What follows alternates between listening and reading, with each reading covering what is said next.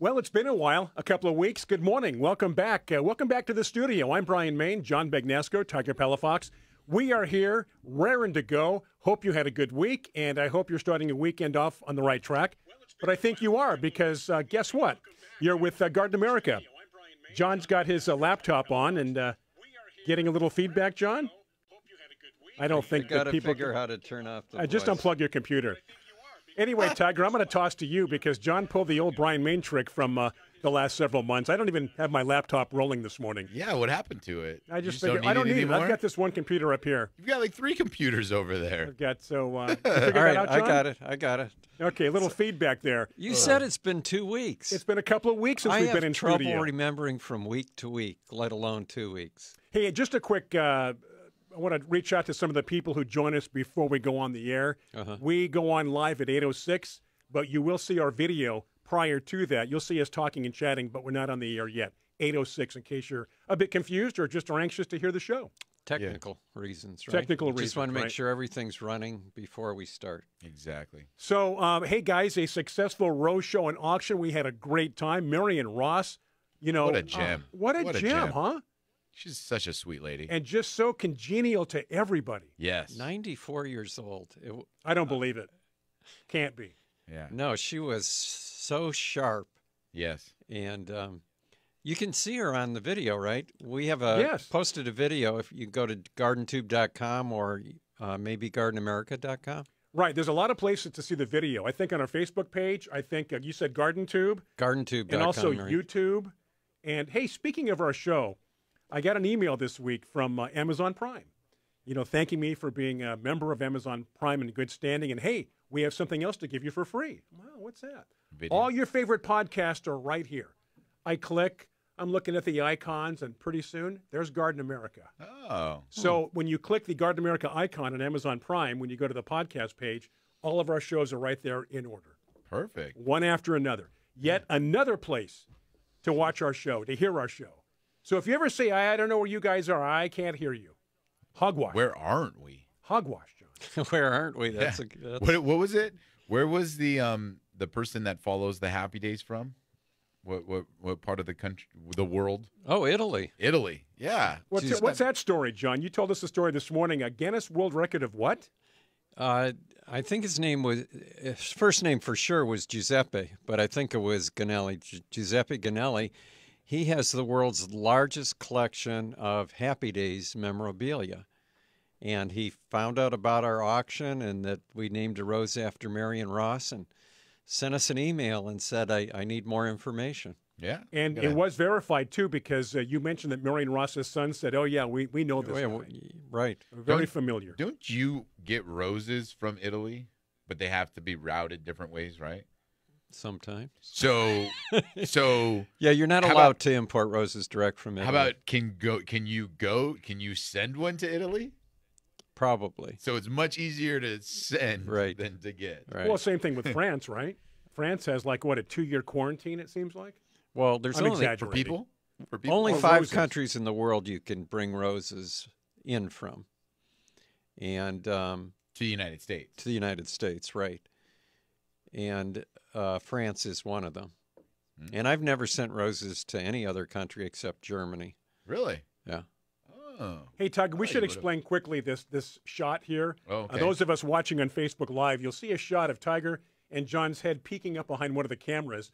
But uh, I, this is the subject or the topic of today's show, right? Yeah, we're going to be talking with George, the um, the the uh, um, the um, uh, person behind AgroWin Fertilizers, and in front of us we've got some uh, bags of the fertilizers. We've got worm casting fertilizer and rock dust. Have you ever used rock dust before, John? Uh, I'm not going to comment because I'll just get in trouble. Uh, Which means he, he has not used it recently. yeah, is that what that means? Yes, no. But it says I saw, I saw use rock dust as a fertilizer. Yeah, yeah. So you know, we're going to be talking with him about different um, fertilizers for your garden and how they work and what to think about when you're fertilizing your yard. Also, uh, the newsletter this week. Uh, I see. I I learn a lot from our newsletters. Uh-huh. Besides the articles, the information, I learned that this is the weekend that we fall back. We're going to gain an hour this weekend Yeah. tonight. Tonight, Yeah, that's exciting. An hour. Going to gain an hour. so So you get a Don't little jump bit more ahead. rest. Make sure you fall back. You fall back. You're jumping ahead of spring, Right. but now at seven o'clock in the morning, it won't be pitch dark. And did you learn about the um, Iron Throne rose this weekend also from the newsletter? Which it. which rose was auctioned for the most? Was it Iron Throne? The Iron Throne went for three hundred and fifty dollars. and that one that I wanted that was variegated Yeah, children's yeah, you bailed out. SOS Children's Rose. was how much? Oh no, I could have gone you higher. bailed out. You bailed I- out on well, that. So who would do you remember who was bidding for that one? It was a it was a proxy bid, but the woman I can't remember her name. Yeah, she was on my right hand side. Yeah. and you Yeah, were I on the don't know left. if we want to announce her name on the radio. But um, but anyways, um, you know, very sweet lady, and it I didn't realize she was proxy bidding, and she is so sweet, and I was just like, That's it. I, You- I feel bad. Like I don't want to. I don't want to keep bidding up against her Right. because I was. She, she did not seem. She she just held her paddle and didn't move it. Like I'm like, wow, she's gonna really go for this. Yeah, Uh, and, and, and, and for those that, that need clarification, she knows exactly how much she can spend. exactly. So keep the paddle up until you get to that money. Yeah, to- but to the- she she had a straight face, and I was like, not gonna win this. So I finally, after a, a few back and forths, I was like, all right, fine, she can Yeah. just have it. But luckily, I, I didn't. thought you were going to bid on the Suzanne Rose. I I thought I was too, but then when I saw the SOS Children's one, I got more excited. Really? Yeah, That's really an interesting rose. The it's Susanna, the What? children's one. The well, both actually, Yeah. but the uh, SOS Children's Rose Yeah, got a lot of colors going on. Hey, John, how about looked some of the winners, though? The behind the scenes, not the live auction, that, that roses that impressed you or people that you know that entered and, and won? Was there anything that stuck out in your mind in terms of roses? You know, there was so much going on I there. know. Yeah. I was trying to keep everything straight. Um, the San Diego artist, uh, Nancy Plank, Mhm. Uh, painted a, a picture of the Marion Ross Gosh, rose. her paintings are wonderful. Yeah, and I, th- I thought she did a great job, and it was really nice of her. She's in the video, too, by the way. If you want to see that uh, painting she did. Maybe she next gave year we can auction off some of her paintings. Good golly. Well, that was, oh, we didn't auction her No. paintings. Her paintings were for sale, though. Right, If Yeah. you wanted right. one. And so, um, getting back to Marion Ross again and her entourage, just wonderful people. We weren't sure, you know, how healthy she was. Obviously, prior to the auction, you know, Right. hopefully she'll be on time and she'll be able to, you know, at least interact a little bit. She took over the show. yeah, she was great. She was great. She was Yeah. wonderful. so neat to be able to see her, and it really seemed she was very appreciative.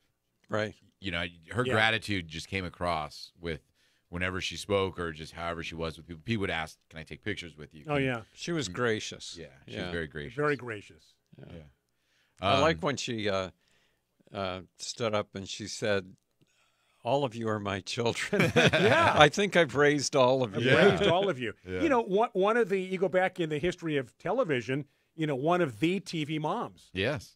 right up there with uh, Mama Partridge, Shirley Jones, and Barbara Billingsley. Leave it to Beaver. You got Marion Ross, and all these moms who a lot of kids did grow up with. Yeah. Yeah. The Of course, Happy Brady- Days Uh, came. mine was the Brady Bunch, I think. In the Oh, yeah, the Brady- ones. oh, yeah, Florence mine, mine were later. I was uh, I was in college when Happy Days came out, so Yeah. she didn't really raise me, but maybe she gave me some good advice. Mine was the TV show I Remember Mama, was a TV. which I think was in the early 50s. I remember oh Mama. wow. yeah. You don't, right? No. Not at old all. Wow, I remember Mama. Yeah. I, I really identified with her. She was nice. So we're going to be talking with George today about worm castings, fertilizer, and maybe various ways of uh, helping your garden grow, as they say. Yeah, exactly. I mean, you know, for a lot of the organic gardeners, this is the time of year where you're thinking about some soil prep going into the next year. Um, you're thinking about amendments that you can add to your soil to get them ready for the fall. Um, if you're in kind of the west or southern California areas, so yeah, we're gonna be talking with George to talk about uh, fertilizers and worm castings. Speaking of that, John, we got about a minute or so. Uh, when do you cut back your roses? Is it too early to cut them back? Way too early. It is way too early. It's too early to, to even think about it. How about January? That's okay. Okay. What about make if you sure. what if you're out in Michigan? If you're in Michigan, you're not even going outside in January. no, in Michigan, you know, in those cold climates, people cut back their roses after the snow melts. And the main part of pruning is to cut out everything that's dead. Died. yeah, it's That true. died. Hey, Joyce says good morning from the San Fernando Valley. Good to have somebody in LA. County.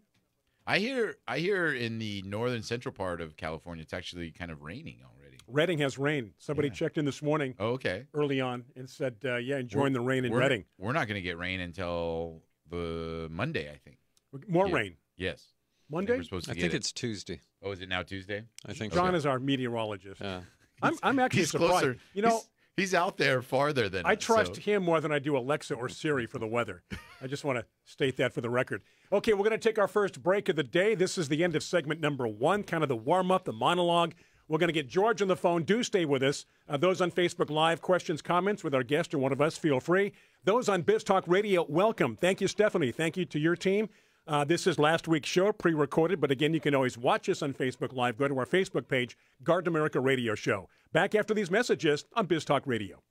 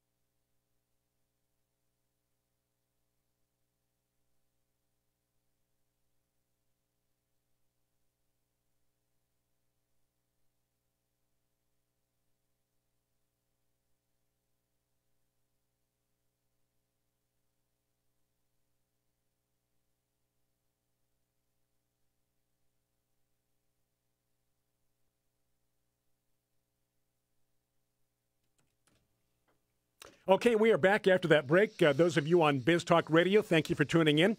And again, those uh, on Facebook Live, stand by. We've got George ready. But first of all, we just couldn't do a show without John's quote of the week from uh, the old coach of the UCLA Bruins, John. John Wooden, Yep. right?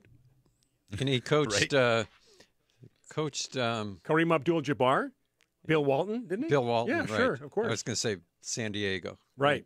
Bill San Walton. Diego's own Bill Walton. Right. Anyway, he said, I grew up on a farm. We learned that there was a season to plant, a season to water, and a season to harvest. The planting and watering could be laborious, but without those stages, there would never be a harvest. And without those uh, laborious things that you have to do, it, it wouldn't be worth it. Put all that time and effort into it, little hard work, and you see the the fruits of your results. The what? Labor. the results of your labor. Don't even listen to Fruits of your labor. Fruits of your results. This is this is where I toss to Tiger and kind of sneak out of the room and bring on George. Go ahead. Tiger. All right. Hey, George, good morning. Thank you for joining us on Garden America. How are you doing today? Good morning, Tiger. Good morning, John and Brian. Hey, Thank George. you for So, having me. I'm doing well so far, so good. Well, I wait till like the wait that till the uh, first comment and about hard labor. Yes. and uh, there's one thing I just want to mention: the uh, products we would talk about.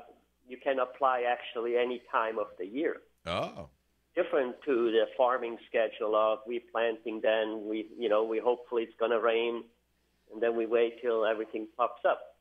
So all right.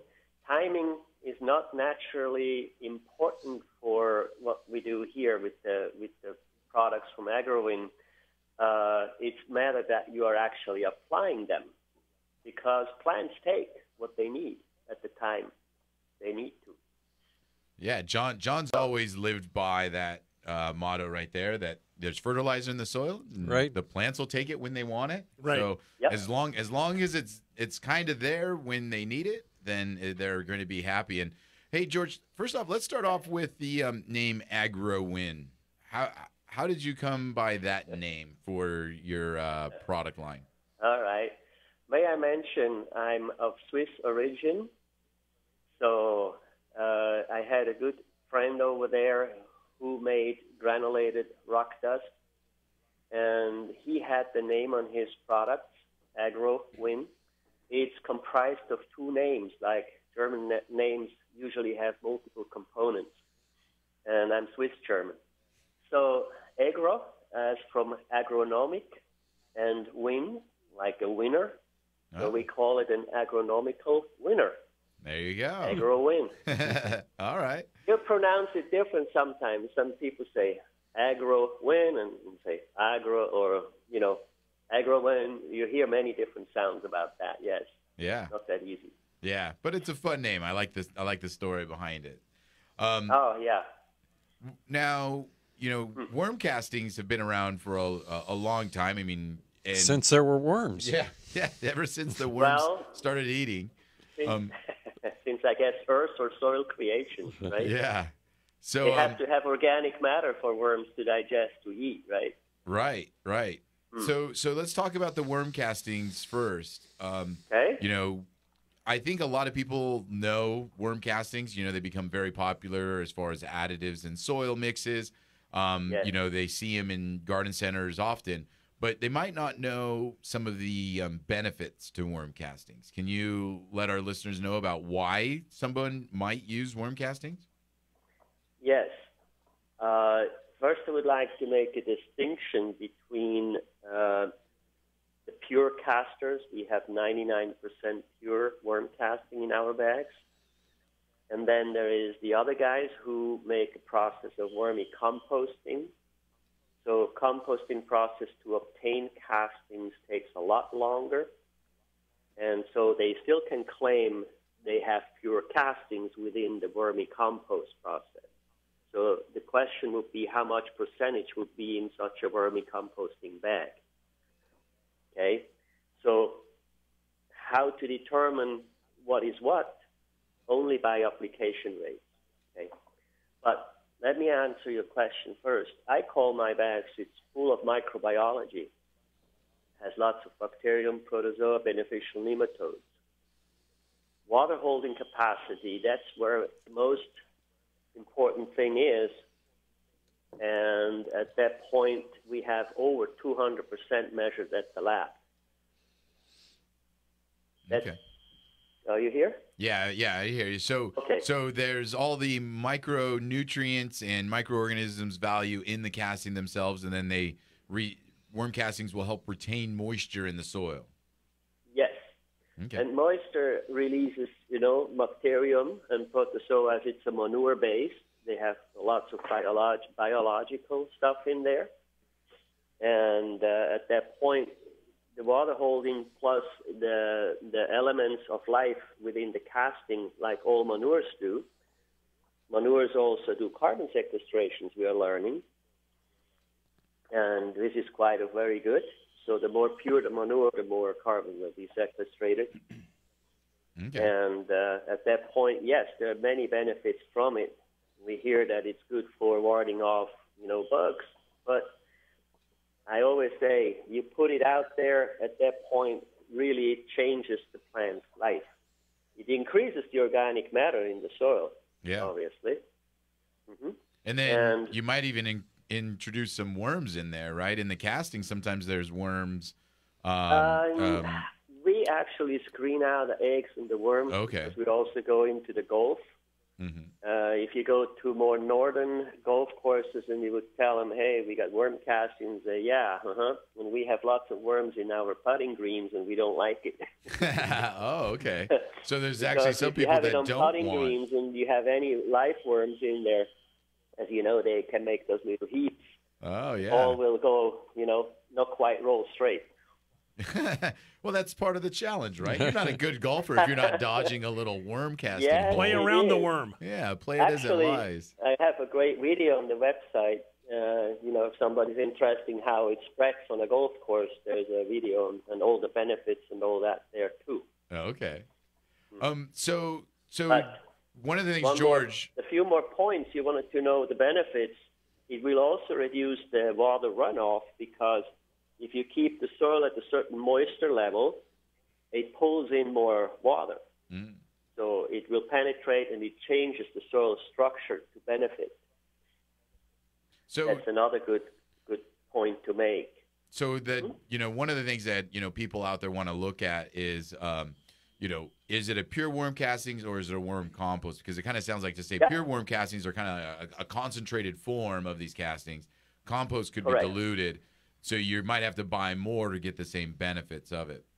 Hey, George, Yeah. we're, we're going to have to take a break. We're going to have to take a break here in about 30 seconds. When we get back, we'll continue talking with George from AgroWin uh, Products, and we'll be moving on to talk about what rock dust is. What is rock dust? Stay tuned and find that out on Biz Talk Radio, Facebook Live. So again, do stay with us talking about worm castings this morning. Our guest is George. We are Garden America. Thank you for tuning in. We were off last week. It is good to get back into the studio. John Bagnasco, Tiger Palafox. I'm Brian Main. Back after these messages from our good friends, our supporters, our sponsors from Biz Talk Radio.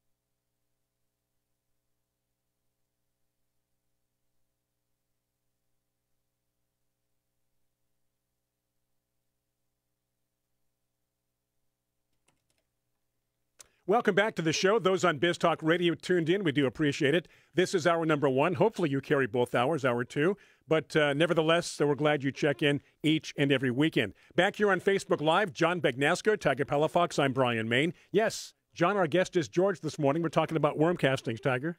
Yeah, and we're going to move on to rock dust. Um, so, George, another product that you guys produce is rock dust. Um, can you tell us a little bit about? You know, this is something that people might might might not be familiar with. Can you tell us a little bit about what rock dust is? Yes. So we actually do not produce it. That Oh. will be a volcano who does. Oh, we will just grind it down to a very small particle size. Out of it's actually an European product, and why I found that out of Europe and do the importation is the U.S. so far has I haven't found any rock dust who has a calcium magnesium ratio which is nearly one to one in proportion, or in ratio. So that's very important to have balanced nutrients. And calcium, magnesium, as you know, are pretty important to plants. And if you raise the calcium levels, magnesium comes down and vice versa. So that's a big benefit of the rock dust. Now, the particle size is also very important. The finer you can grind it, the more you can actually distribute on a square footage. So a 10 pound bag will cover a thousand square feet. Mm. The, the largest particle size is 0.06 millimeter. So we call it 6 mu, but it's pretty fine. yeah. And so the rest is all finer. So for big agriculture, they would love to have it in pallets, but it's very difficult to homogeneously make single pallets. So we keep it as a powder. And the powder form has good residual in application rates. And the rock dust really supplies all the necessary macro micronutrients. It also helps the seed to germinate better, and it will also increase the Brix in plants. Most people know the Brix from grapes. They measure the sugar content.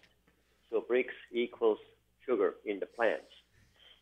I actually found out if you have a broccoli, the flower head, which we usually like, and some people cut the stem off, the sugar is actually in the stem and not in the Ah. flower top. Yeah, I remember. I remember somebody, a chef, telling us that one time that yeah, the Oh. stems are actually The sugar? the, more flavorful Yep. part Right. of the broccoli than the flower. Everybody eats the florets, but the stems are actually the better part to eat. Yes, it's more beneficial. Yeah. That is correct. Hey, so George, real quick, don't, Um, don't want to interrupt, but John, John had asked about the castings, and you brought up this point on the um, rock dust too about, you know, when you're when you're talking about how pure these products are, that that Yep. they go a long ways. You know, someone Right. like John who has acres of property, and to think that, oh, you know, um, you know, a ten pound bag can help me out in this whole area or something is shocking because most people are used to buying a bag of fertilizer and using, you know, cups of it at a time on one plant. Um, Uh-huh. You know, where it seems like you know Yeah. we were reading your your uh, castings and you're talking about, you know, 10 cups 10 per pounds per 100 square feet. This Yeah. is quite dramatic, yes. Yeah, and then on the castings, you were saying, you know, they can, you know, go pretty far as well. So, so people who Mm-hmm. need to understand the benefits of these concentrated products can go a long ways. That's that's a Yes. good thing to know. Yes, they're very, how it's called, consumer friendly in the wallets because the application rates for rock dust is really insane. And you can incorporate the powder in any liquids or apply it to any, even synthetic fertilizers, and it will change. Oh, You know, this is the thing. Is the, I call it my rock dust is non-dominational. it goes everywhere. yeah, So, you know, and also it's a good thing, the seed germination will be better. So it starts from the very beginning. hmm I believe the seed germination comes from that paramagnetics in the rock dust. okay, As it's volcano, volcano, they have pretty decent paramagnetic powers. Most people don't know much, but if you read a book from Phil Callahan, he will explain you all about it. And it's all about frequencies, okay? We all live from frequency. You probably know better than me. Sound makes the music, or a voice makes the, you know, what it meant. yeah, No, So I just had a quick question on the rock dust. Um, a, a lot of our listeners are familiar with rock phosphate, Yes. but but your rock dust is different than that, right? That is correct. Rock phosphate is zero nitrogen, phosphate 3%, and zero phos- uh, potassium. So it's pure phosphor.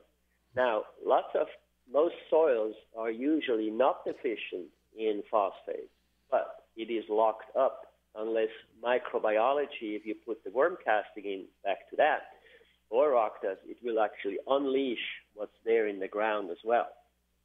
Mm. So the rock dust has all conceivable micro macronutrients. You know, so we have calcium, magnesium, iron. It doesn't have nitrogen, obviously, because it's an inorganic compound. But it has iron, magnesium, calcium. You know, all that available, and calcium, magnesium is super balanced. And as I say, I have not found any other who has that calcium magnesium ratio at the right place. And Yeah. also, we have very low in the heavy metals part. I I heard one guy on a YouTube video goes, "Oh, rock dust. Yeah, you need a little bit of this rock dust, a little bit of that rock dust, and you know you can mix all the rock dust together and put it in the ground." And I go, "Wait a minute. Each rock dust has different properties of heavy metals. So rock dust is the sources of cumulative of heavy metals." yeah, Worm casting is a microbiology bag. The, the more microbiology of different feed and food sources uh, makes a different microbiology uh, components. So in rock dust, it's totally different. So you It- need to find one a good rock dust source, and then figure out how that works in your soil to your plants, and it works very good. Plant planting transplant or planting shock eliminator and Brix increaser and better seed germinations, these are nearly essential to all plants. Hmm. yeah. And so, George, I mean, the nice thing also, we're talking about these specific products, the castings, the rock dust, but then you've gone one step further and started creating some fertilizers where you're, you know, blending these products for people and then getting some some nitrogen, phosphorus, and potash also into the mix. So, you know, the plants Yeah. have overall health. Um, did we have a? You've got a couple of question? questions, John. The first one is from Rick. Uh, Rick in Idaho is wondering about there was um, uh, a product here in San Diego, oh, maybe 15 years yeah, ago, uh, 10, 20 years ago now. Yeah. Um, there was Alaskan humus, which was very biologically active, and he wonders how the the uh, biology uh, biological activity in Alaskan humus would compare to worm castings. I have never done that, but I send rock dust to Alaska to grow bigger pumpkins because they have some big competition for that. Yes.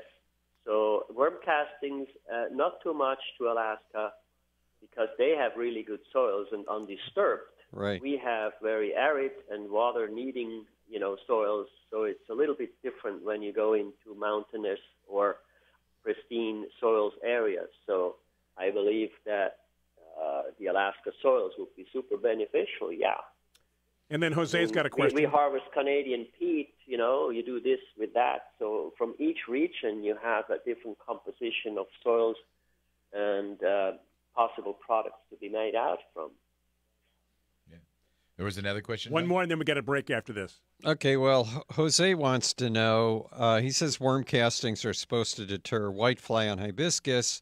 He wants to know if the worm castings would deter uh, other whitefly or bugs on other plants. Do we have to take a break, Brian? No, we're, we're, uh, let's see. We got about a minute. okay. George, we're gonna have a minute, and then we gotta take a break. There, is a lot of claims on this, but think about this. The more healthier you make the soil, the more nutritious you make the soil, it works for humans the same way, the better the plants will thrive. And the plants will thrive good, it will be okay. If a plant go bad because of malnutrition, at that point it becomes more acidic. So the plant's aura, we call it a Kirlian field, it's like an imagery of an uh, um, MRI, which is colorful.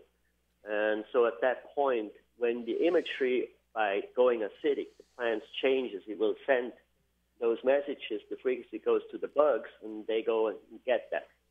So if you have a healthy soil and you use good nutrition at that point, you should ward off most any uh, bugs. All right. Hey, George, we're going to take a break. When we get back, we'll continue talking with George from AgroWin Fertilizers um, um, and then how to get a hold of his products. Absolutely. And again, those on uh, Facebook Live, questions, comments. We have another one coming up. So again, uh, thank you so much for tuning in. Those on Biz Talk Radio, those on Facebook Live, as we're talking about worm castings, rock dust here, rock dust, I dust, I should say. Can I take two or three on that? Rock dust. Thank you, John. Just in time for a break here. I'm going to bail out on Garden America.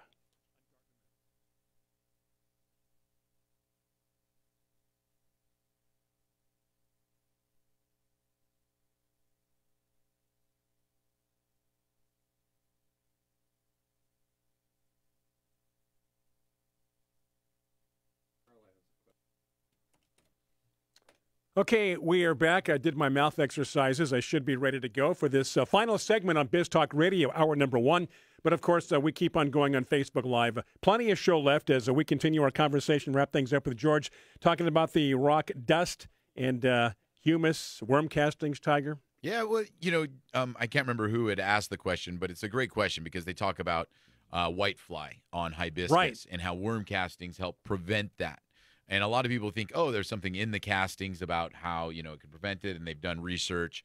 And what George, I think, you know, was getting to is that it's more that the health of the plant helps prevent the whitefly.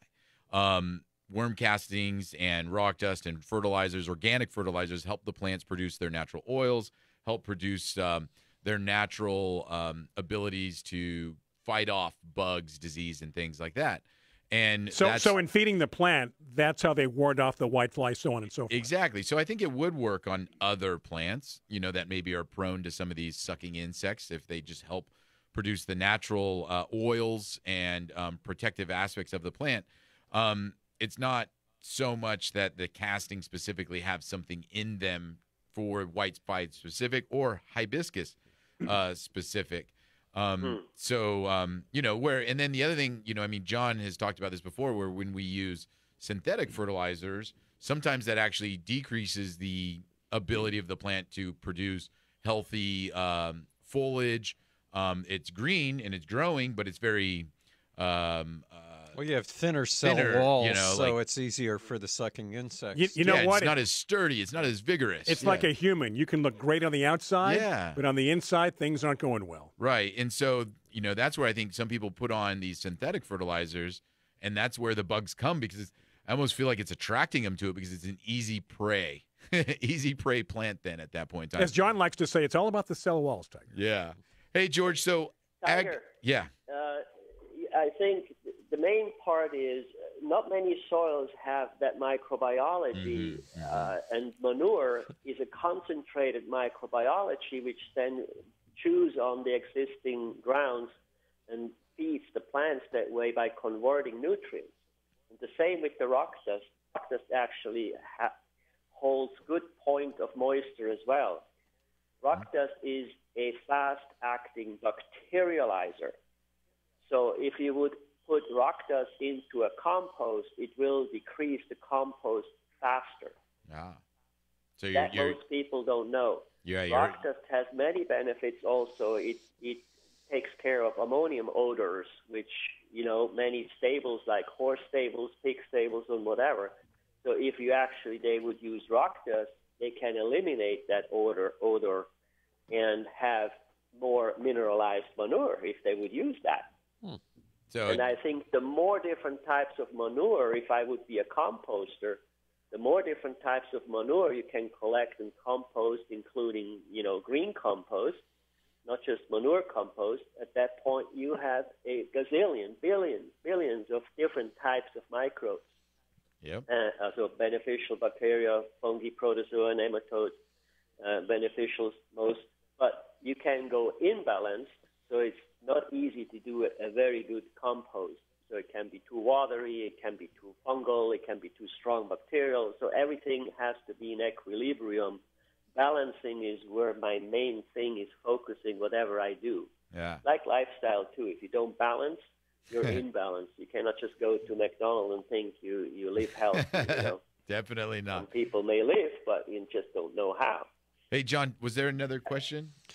Uh, there were several. I don't know if we're going to have time to get to them all, but we'll try to get some quick answers on these. Carla in Huntington Beach um, says that she buys a lot of pumice and she wants to make sure she understands correctly that it's completely different from your rock dust. Pumice? Correct. Yeah. Okay. Yeah. Pumice Totally is for different. drainage, right? No, that's why it has a different name. It's pumice. it's Okay. not rock dust. There you go. That's why we Very call it rock dust instead So, of pumice, Carla. Pumice It's is, different. is, is like similar. I would just say for me, it's just next thing will come to, to peat moss. You know, pumice, peat moss, all these these are filling agents for potting mixes. Yeah. Rock dust is a fertility issue, and it's very potent. So Uh, little hold- goes a long way. So don't overuse rock dust. So it applies like powder sugar over the cake. I think of a tiramisu. there we go. a little dust powder over the top. And that's why you get the mileage of 10 pounds a thousand square feet. And it's potent. And then, and uh, you can put it into fertigation system like EZ-FLO, any, any liquid injection system. As long as you have a, a little bit of agitation, then it will suspend all of the product. Okay, And aquaponics George, also works. Oh, George, we we, we, we want to get to a couple more questions, George. Yeah, and and when I say quick answers, George, that's the opposite of what you just gave. hey, um, our our good buddy John, Circle Cle- complete. Yeah, absolutely. our good buddy John Clements wants to know if you still do soil injections of liquefied worm uh, castings to save trees. I think that's a good idea.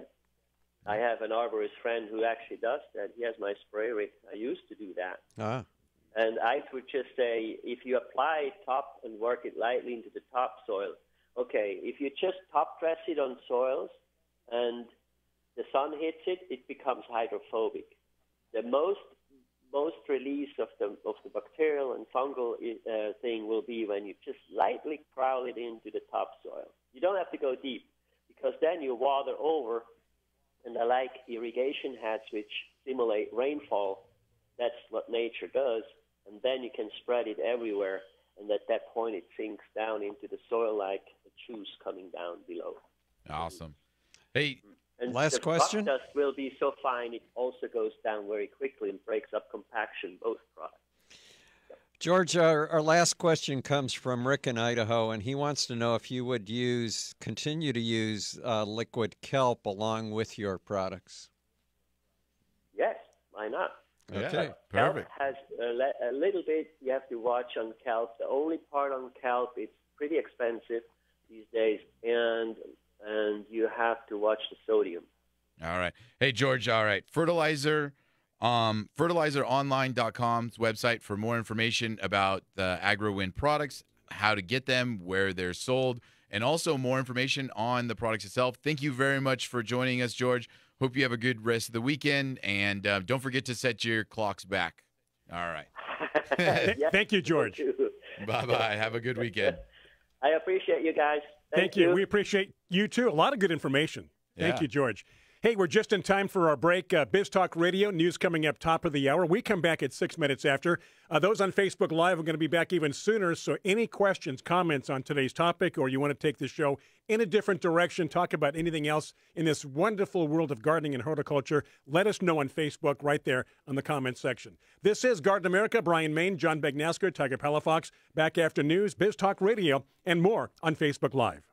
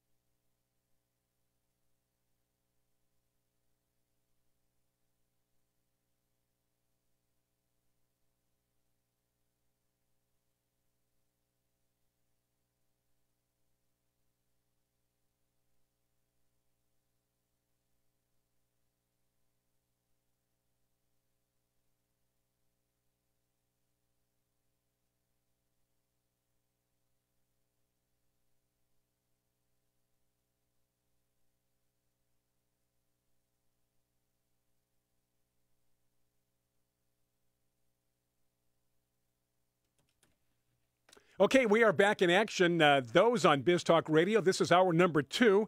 And again, those that uh, listen to our number one, we hope you get some good information. Remember, those on Biz Talk Radio, tune in and watch us and hear us live on Facebook. Go to our Facebook page, Garden America Radio Show. And again, a big thank you to Stephanie and her team to keep us on the air nationally, guys. I guys. want to use some of those products in my garden. Where do people buy them?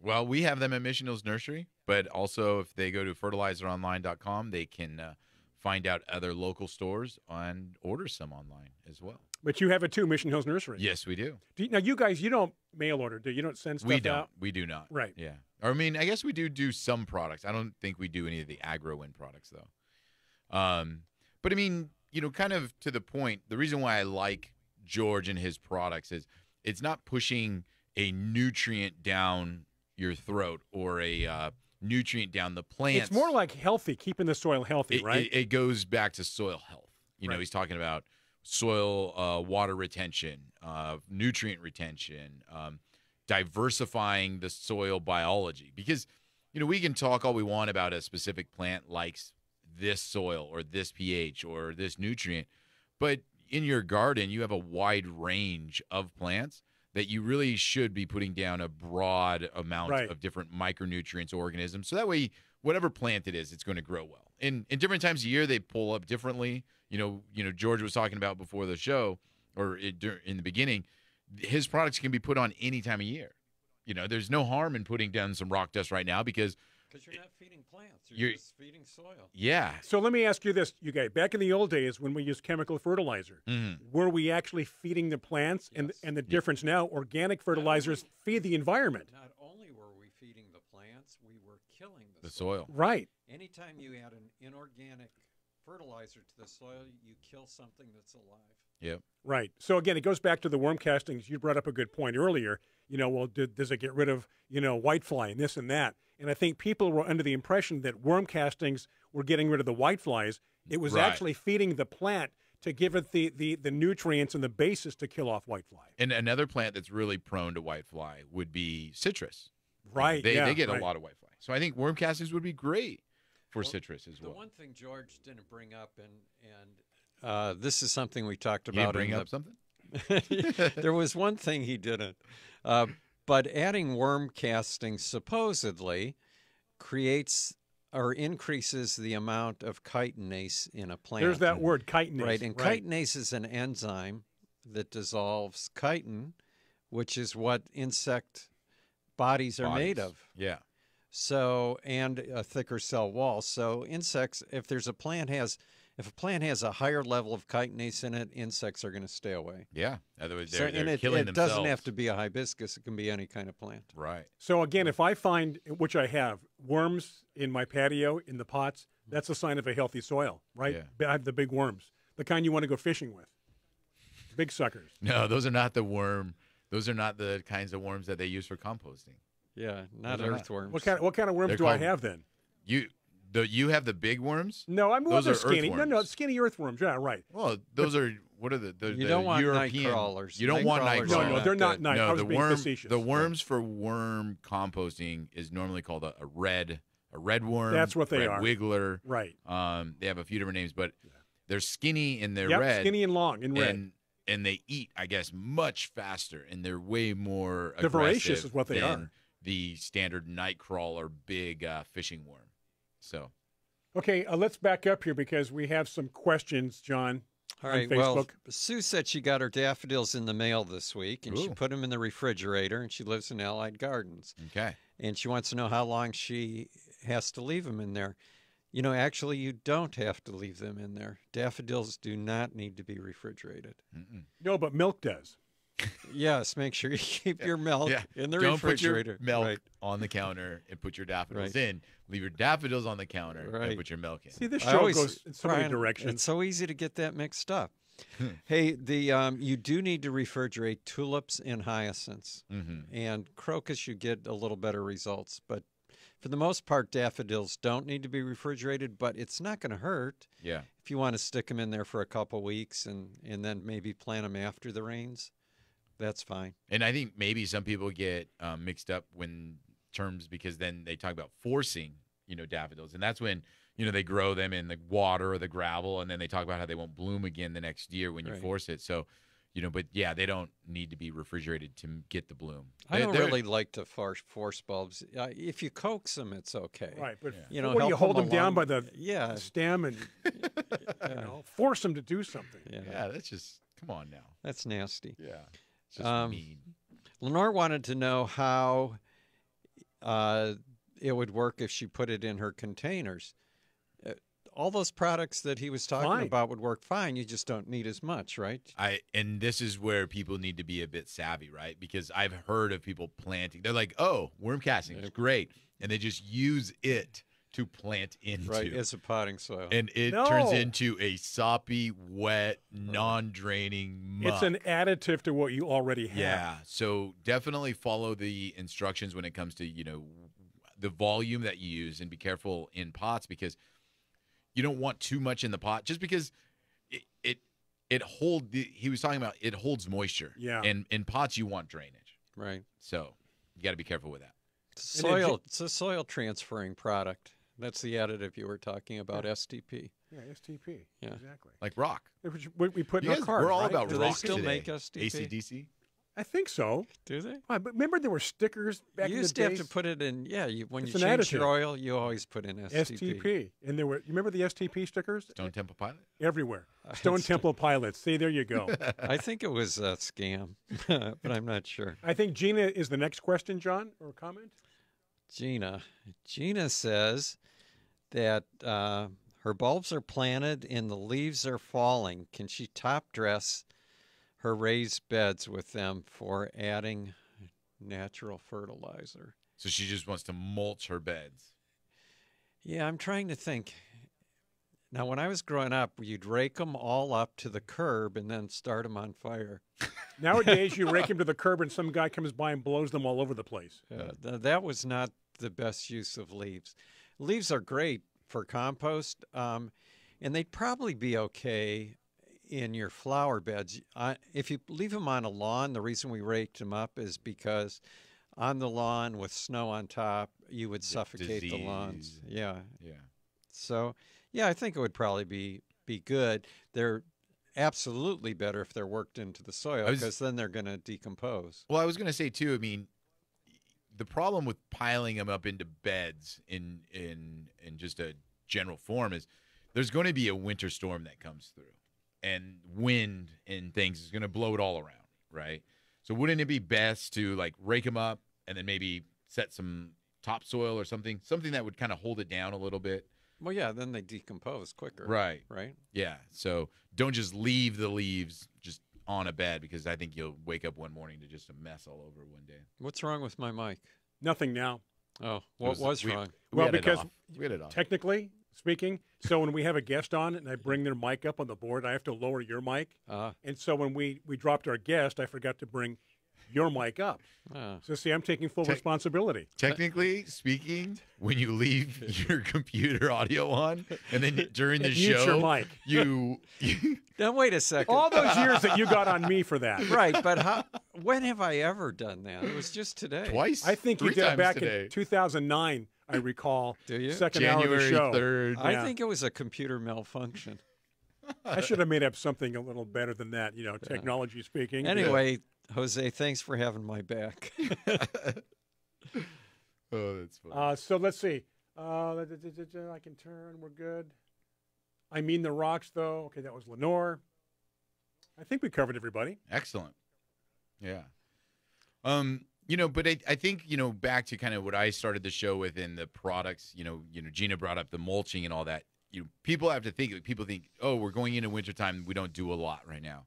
But if you are a, a gardener, and you want something to do, this is the time of year where we're talking about you. You can apply some castings, you can mulch your beds, maybe apply some of the organic things like rock dust or uh, humus or um, you know other organic material to the beds because then you're giving them this chance to kind of overwinter. They kind of blend in with the soils and they'll be there when you're ready to go next spring.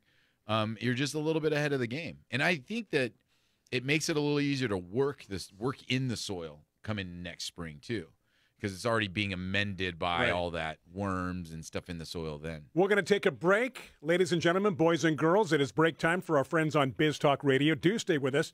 Uh, keep those questions coming, those comments on Facebook Live, right there, the right side of the comment page.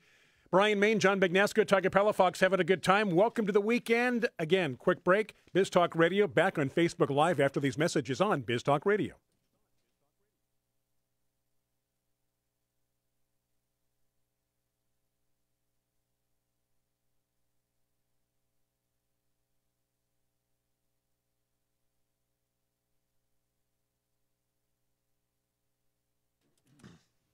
And just like that, we are back. We do appreciate you spending part of your weekend with us. Great way to kick off a Saturday. And again, now we talked about all the ways you can listen to us. Be sure to go to our website. Uh, that is, uh, I believe, John, www.gardenamerica.com. Three W's. Got three W's there. And then a period, not a comma. That's exactly right. You can sign up for the newsletter. Click around on our website. Uh, visit us if you can at least once a day. We do appreciate that. And again, if you do have Alexa, you can ask Alexa to play Garden America show, and boy, she does it. And she's very happy to do it too, by the way. she's got a good attitude about it Lately, she has a good attitude. I got her and Siri in the same room. That didn't work Uh-oh. out at all. whoa Talk about a cat fight. yeah Woo! um Gina said she that she agrees with you, Tiger. She needs something to do in the garden since planting is over. this is over right yeah, I did just get a message though that she had some bulbs coming.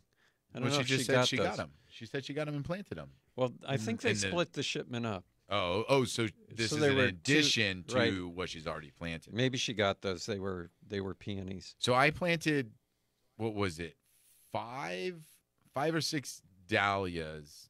Um, Dahlias. yeah, Just now? no. Oh. Uh, do you remember I wanted some dahlias? We Yeah. doing a show. I ordered like five or six of them during the show. I, they came in. I planted them. They look beautiful. You brought in those. I'm trying to think of the name of that one. Yeah. It's like Spartacus or Yeah, something. It was- exactly. It was. Spartacus, it yeah. was. It Was was it? something Spart Spartan something or Yeah. Spartacus, and They were huge. it was they're beautiful, right? Right. Well, only one Came has back. returned. Yeah. Yeah, but it's cool. It's pretty cool. I'll take a picture of it. I'll post it. Usually, uh, well, in the Midwest for sure, and in cold climates, uh, we talked about this. They dig dahlias up, Up this and- time of year, Yeah. and you put them in the basement. Yeah. No. There's no sense building a basement in your house just for the Just for dahlias. dahlias. But you but there is I would if I had to. John so John we talk about roses a lot, Mhm. but John is a collector of a wide variety of plants. And we've talked about that rare plant group on Facebook before and Really He- rare plants. really it's called. rare plants. That's what it's called, right? yes.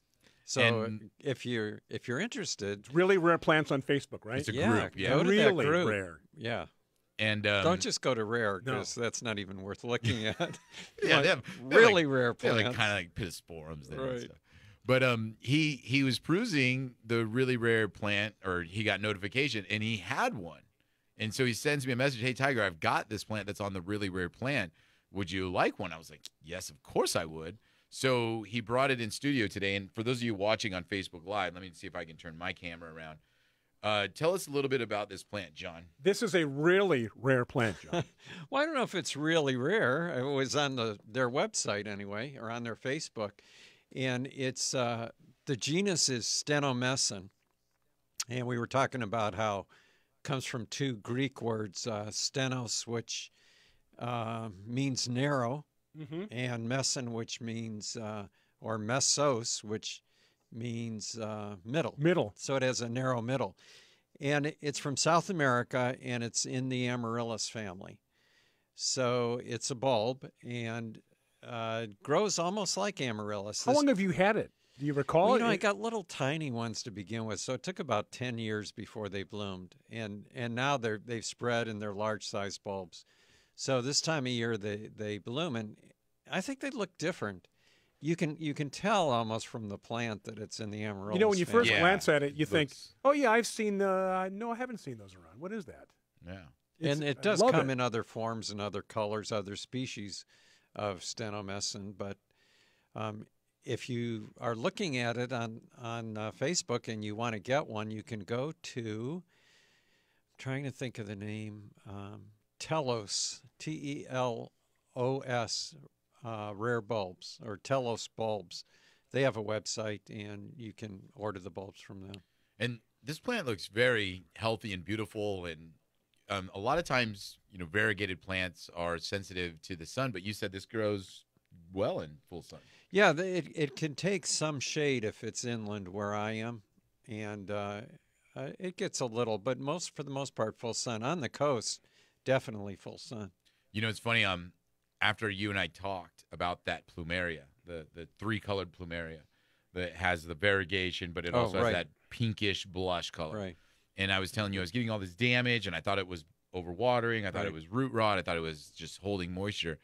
And so you mentioned, well, you know, one of mine gets it just gets sunburn, or, It's or the same one, right? it is. Yeah. And so I moved it completely into the shade to see if that one would help with that damage on that one. Mm. Because I was checking this one, I'm like, no, there's no root rot happening here. This, this isn't holding water. And you're not overwatering it either. I, and I'm not Right. overwatering it. Right. So I think it's just one that. So And it's just the one color that sunburns. it is. And I don't know if it's the pink or the white, but So do you think I have to have it in full shade protection because it was not only in partial sun when it was getting burned? really, Was it during the really hot weather? Yeah, I mean, I have it out there with all the other plumerias. All the other plumerias love it. Lo- Love of the sunlight that I was getting. what you might do is maybe move it um, in midsummer when we have longer days. Oh, okay. you know, in the spring when it starts out, I'd probably give it as much light as possible because plumeria like Love full it, sun, yeah. right? And then as the days get longer, maybe move it into it's in a pot still. yeah, right? it's in a pot. Yeah, Yeah, yeah. I'm gonna leave that one in a pot for a while. So yeah, so I was thinking on this one if it was sensitive to that too, but it seems like it doesn't mind the full sun, and looks really healthy. John, great job. Yeah, it does look good. Yeah, and I, I think I spent thirty dollars for a bulb that was the size of my fingernail. And now, you- And just in ten- this one Ten pot. years later, yeah, you've got that one. I brought it to you because it was blooming, but I also have eight other pots of it. Really? Yeah. So Are you gonna plant them, dude? Are these bulbs kind of gopher? You worried about that at all, or no? I, I, you know, I decided not to worry about gophers. Just, just I- if I don't see worry them, I'm about it. going to battle them. but otherwise, it, I just can't worry about cages everywhere. Do- Have you seen him lately? Or, Yeah. Or, or him or her lately? Yes, they actually are in my son's lawn right now. oh bummer. Oh, they're So, they're aerating the soil. Is that what? that they're doing? yeah, doing? definitely aerating. When the we soil. were trick or treating with the kids um, by my house, there's this large dead. It was almost eerie because it was Halloween and it was nighttime. Um, but there's a dead tree in one of the neighbors' house, and we're walking by it. Oh, and I hear perfect it. I- Halloween prop, huh? well, I hear it perfectly clear. The hoo hoo hoo hoo, and I was like, "There's an owl somewhere around here." And it's dark; you can't really see real well. Uh-huh. I look up in the tree, and there are these two massive owls. They had to be standing probably Really? about a foot and a half tall Right, right on up these the, right up branches. right up the road here, right? Yes, and they were they were scoping out some Really? nighttime critters for sure. Screech owls, right? I, I don't. I mean, I don't know. I don't, not a barn I- owl. You'd I wonder couldn't though around see here. them. It was dark. All I saw was the silhouette of these owls. But it was I've, I've got owls at my house. I and- like and they're owls. I would love to have a domesticated owl. Yeah. I love owls. Uh, There's, there's a guy on YouTube. Harry There's- Potter. a lot of domestic. oh yeah. There's a guy on YouTube, Yeah. and uh, he's got a sanctuary in Florida. He's got alligators. He's got venomous snakes, and he's got an owl that he that he brought up and he raised, and he taught him to you know fly off the glove and come back. And Oh, kind of like they do with hawks or whatever. exactly. And uh, just a beautiful owl. Just a wonderful. Owls owl. are. They, Yeah, they're they- cool. I they intrigue me. They do, me too. Hey, we got to take a break. We've got uh, two more segments coming up after this. So those on Facebook Live, questions, comments, keep interacting. Those on Biz Talk Radio, we thank you for listening every week. I'm Brian Main, John Bagnasco, Tiger Palafox, back after these messages for you on Biz Talk Radio.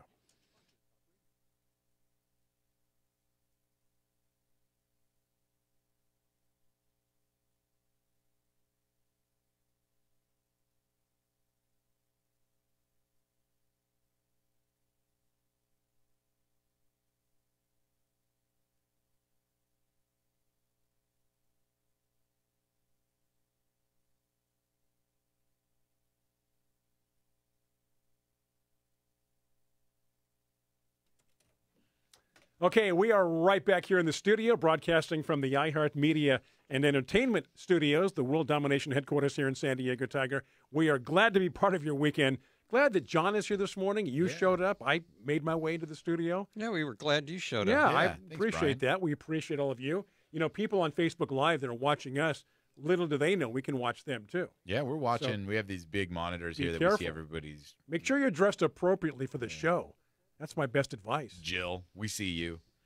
Uh, yeah, yeah. What what what Tiger said. Um, Hey, Linda in Redding says they're getting a lot of rain. that's awesome. It's on its way So down here. Maybe it's coming down. Yeah. yeah. It'd be nice. it's winter. You know, I think Tuesday and Wednesday the highs in the 50s.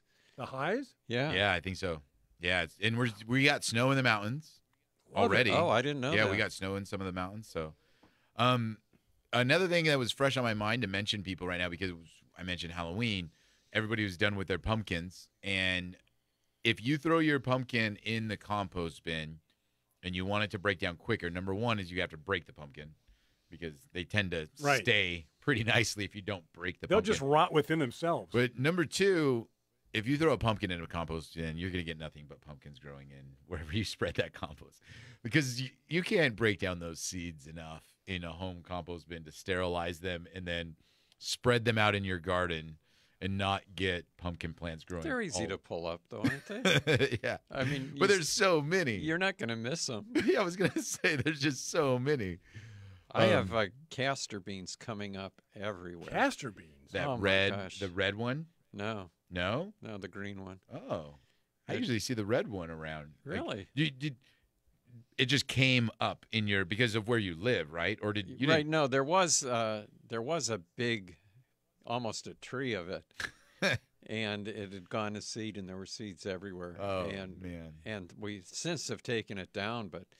I, I would say, without exaggeration, there's several hundred that I've pulled up this year, and there's still more coming Yeah. up. Yeah. Yeah. And those were the only ones that germinated now. Just wait till all the other ones that have germinated. Well, I thought if I was diligent, I would eventually catch up to the seeds. And then I looked at my neighbor's house next door. He's got the biggest castor bean plant I've ever seen in my whole life. It's probably about 15 feet tall Really? and just as wide. Oh wow. It's just gigantic. Oh, you could man. probably uh, cut the tree down and, and put it on the fire for logs. That's how big it is. Is it uh, is it fast growing? Yes. Castor bean. Oh, yeah, really Yeah, fast. Very fast. And They- then the seeds, like it. the What- seeds are what they make the ricin out of. What about And castor oil? Castrol. Castor oil, I think castor oil also comes from the seeds. right? Which they used to give kids when they back in the old days when you didn't feel good. Was that was that what they used to Take a spoonful of castor oil. Was it that with the, Dana the oil? says her parents gave it to her. Yeah. Yeah, well, there was that nasty. Movie, there was that movie where it, they were having like an eating competition. He ate some casserole and so he could puke up on everyone. Uh, I can't remember. I don't remember that movie. Was it Stand by Me or something like that? Um, I don't know. but Hey, the oh, go ahead. the castor bean Right. plant, they grow really really fast, Brian. Like you know that 15 foot bush that you're talking about, that could have been just in one year. you know? Well, for height, yeah. but this is you Also know, wide, huge yeah. trunks. Um, Oh, cod liver oil. oh, ugh. well, castor oil too, Yeah. right? I think both. Yeah. That's how that your parents knew you were sick. if you said take it, No, if you if all of a sudden you said, "Oh, I'm better now. I don't need that." yeah, Yeah. yeah, yeah. I suddenly feel good. I want to go to school. Right. Yeah. Well, the bus just left. What was I thinking? What was I Oh. thinking? hey, Jose says that his wife um, uh, wanted to raise worms, uh huh, so he filled a barrel with native soil, uh and in a few weeks they had worms. huh. He says to this day she thinks I bought them somewhere.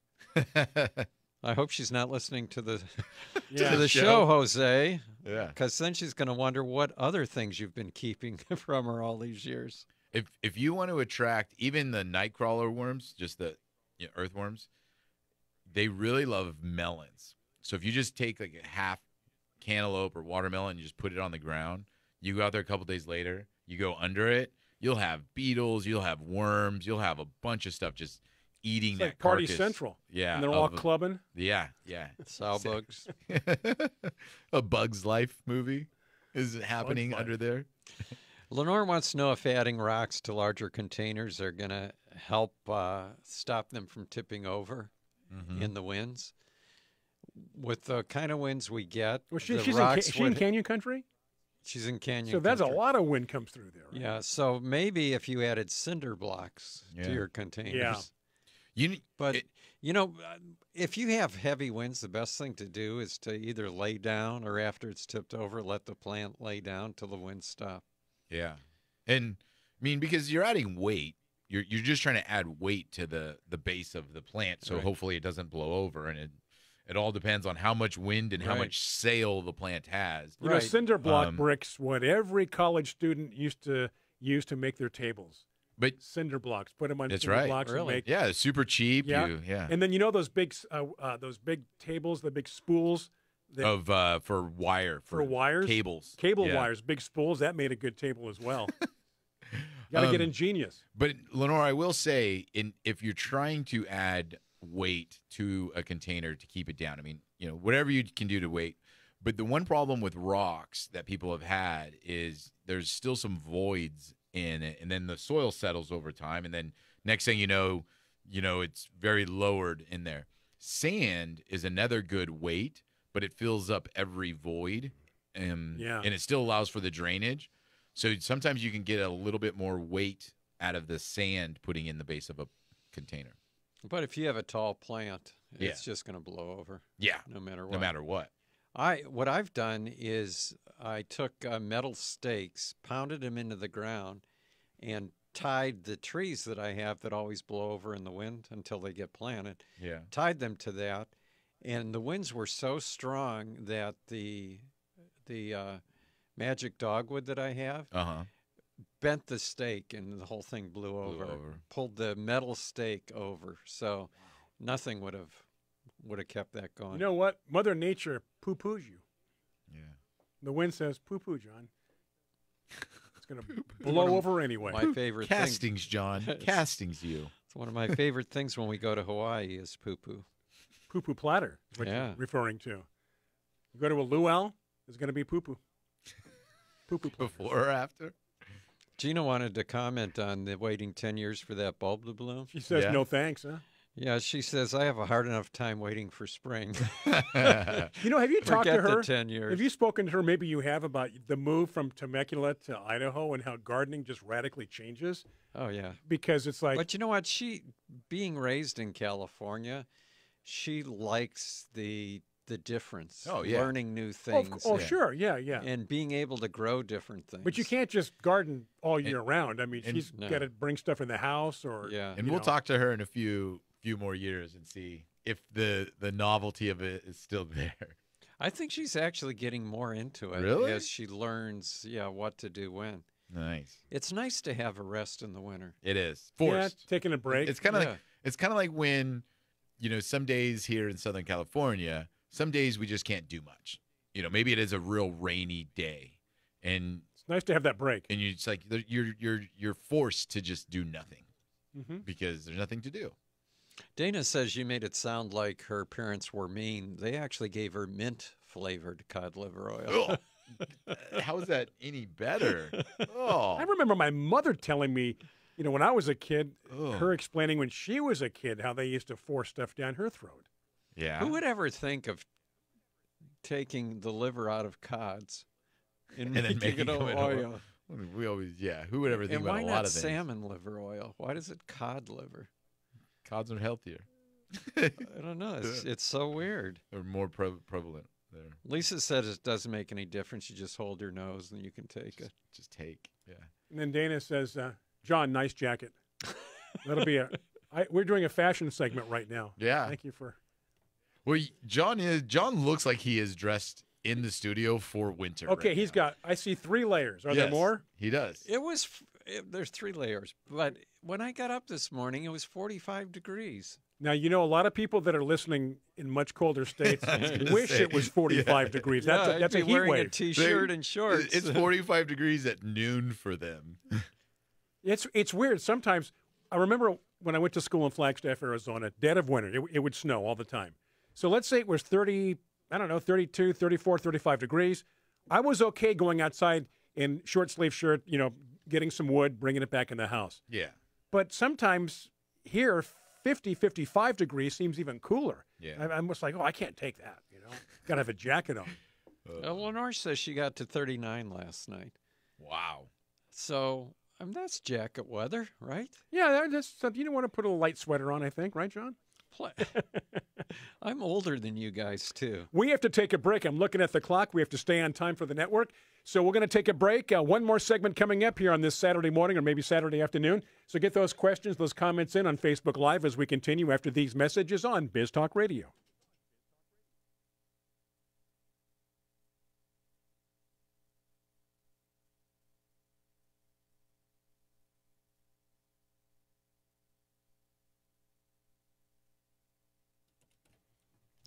All right, gang, this is it, our final segment. We have made it. It's been a, a great uh, rock dust worm castings kind of a day here on uh, Garden America and a lot of other things castor oil, cod liver oil, forcing bulbs. Carla has a quote of the week. Not uh, uh, official quote of the week, but she says she remembers reading a quote where she said that rainy days were for gardeners to clean their house. Yeah. Good one. Yeah. That is true. We had Um, really clean homes in Michigan. she got three months of, of Nothing. Nothing. Yeah.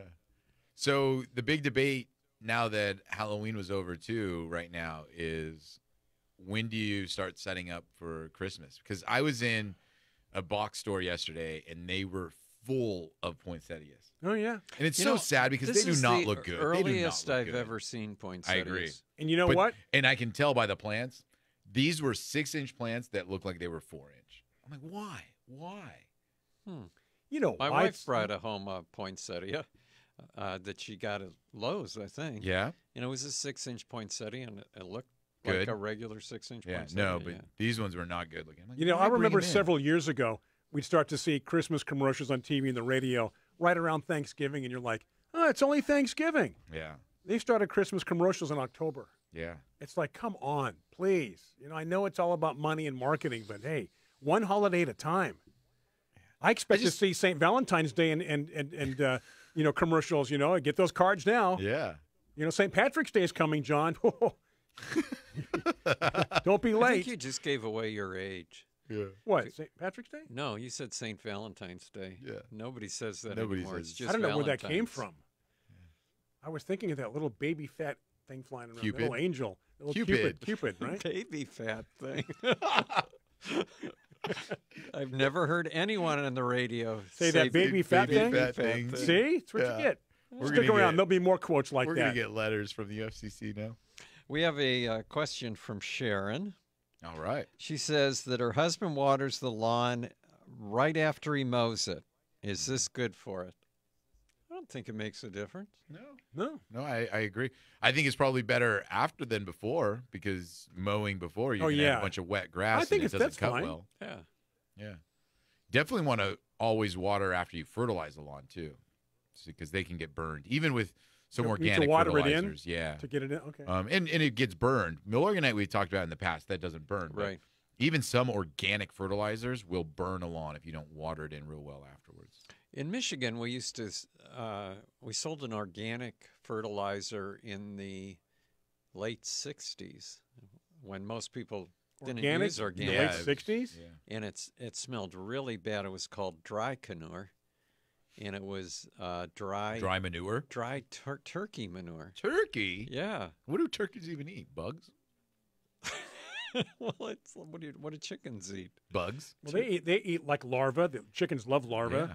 Yeah. I mean, they eat like But different may- grains and stuff yeah. like that, but a lot of times they're bugs. Like, But I, but specifically Turkeys. turkey. I think that Tiger's point is like you're specifically talking about turkey waste.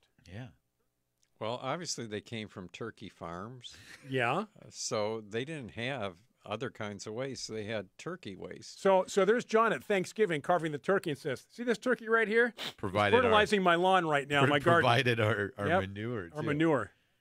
I mean, but to uh, you know George's point today, the best thing that people can do is just put all kinds of manure in their gardens, right? And use a diverse form of it: turkey, steer, horse, worm, Lenore Chicken. wants you to show the rock bag again. the rock bag. Yeah. I, I'm, I'm not sure you um, understand, Oh, right there. Lenore, but this is rock Boy, that is dust. just that's just you're that's dust, all right. Boy, it's that- dust, right? Yeah, It- it's it's a powder. If if I open this bag, it would go No, exactly. right. And- right. Whoa. So she said no. Carla was saying that she thought that because I, a pumice is a volcanic rock, right? Correct. Yes, yes. But this must come. This is not just ground up pumice. It must come from somewhere else. Well, I mean, he was saying it's not even from the United States. Um, he gets this from uh, France, where Italy. I can't remember where he said. Um, but um, it is organic, just lava. You, I mean, not organic. It is just ground ground up lava um, to a real fine point, and that's what he was saying is that in order to work effectively, it's got to be ground into the finest possible powder because you can put just lava rocks out there, but they're gonna take forever to break down and truly and that gets into everything. You know, Yeah. that's just like a potato chip bag. You know that, right? It's only half full. you get a big bag of chips and it's only half full, just Yeah. like that right there. Look at that big bag. It is. It's half full. But this one bag can cover, you know, a thousand square feet or something. well, put it in a smaller bag. Look at all that waste up there. It's not even half. It's a quarter, right? Oh, you're just saying because of the waste of the bag, Right. Yeah, five pounds, five hundred square feet, and this is a five pound bag. Not to be applied on a windy day. Yeah, you'll probably inhale half of. That's the funniest thing he's ever said or made noise of. I love that.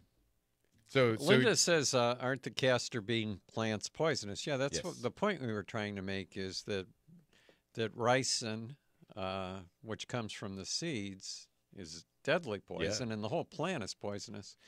In cold climates, you can go to the seed rack and buy castor bean seeds because they're used as mold deterrents. yeah, Whether I don't know if it works or not, but since moles don't eat plants, but everybody planted them, and they had kind of a tropical look for them, and uh, because the seasons were shorter, they never went to seed. and you know, like you say, they, there's some actually really cool looking castor bean plants. Like I said, there was the red one. You said, you know, you had the green one. Right. That if they were not such a uh, good reseeding plant, they'd Right. actually be kind of neat to have in your yard Yeah. as foliage and color. And but I would, yeah, We're going to have to end on that note.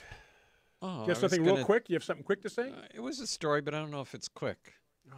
So I'm not going to tell it. Maybe another day. Next week, remember when we start the show, John's story. If It's, we can uh, remember. a matter of fact, if you want a title for the story so you remember, the title is called The Chicken and the Castor Bean. Okay. All right. I think I read that as a child. Hey, that's going to do it. Thank you so much for tuning in, whether it's Biz Talk Radio, listening to last week's show, or live on Facebook Live. We appreciate you very much. Thank you for uh, thank you for supporting our show. It's time for me to go. Anyway, enjoy the rest of your weekend. Enjoy your week, and I guess we'll all be back here next week. Uh, starting off with John's story here on Garden America. Until then, be safe, and we'll see you again next week right here, Facebook Live, Biz Talk Radio on Garden America. Take care.